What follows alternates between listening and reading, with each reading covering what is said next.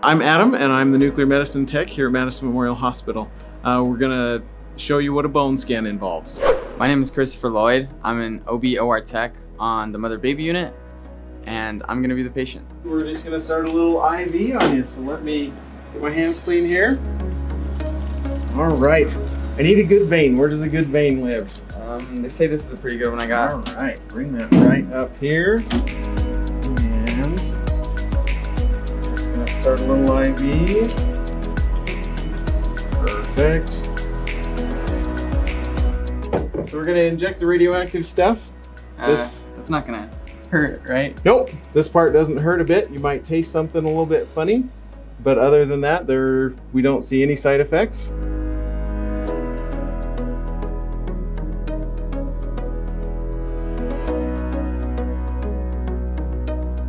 For a whole body bone scan, uh, we've done the injection and you've gone away for three hours. We're gonna have you come on back and we're gonna have you lay on the bed. So have feet down there, head right here.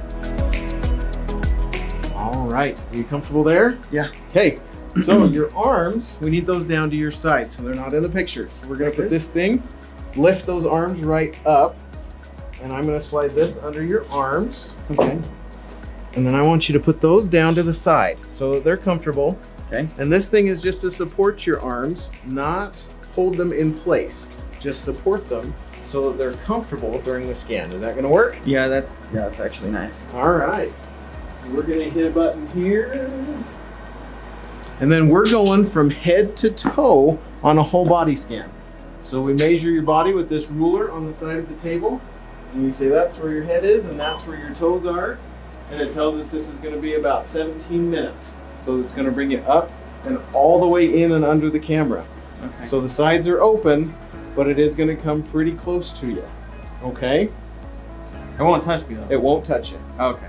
It won't touch you. It automatically finds out where you are and it won't touch you. So if I move it, like I, I probably should. So hold as still as you can. I know it's a long scan. Hold as still as you can. Okay. Um, and we can actually turn some music on. If you want to close your eyes and have a nap, that's the best way to get through it. Okay. Will do. There's a detector underneath that's going to take a picture of the back side of you, and this detector on top is going to take a picture of the top side of you as it brings you out.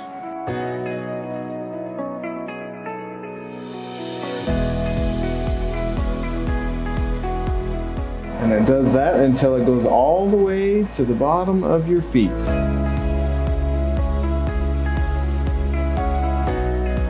After we're all finished, uh, we take your IV out and we'll walk you out to the front door. Uh, you can eat and drink as normal, unless your doctor has any restrictions that I don't know about. Um, you can take any medications that you may have held.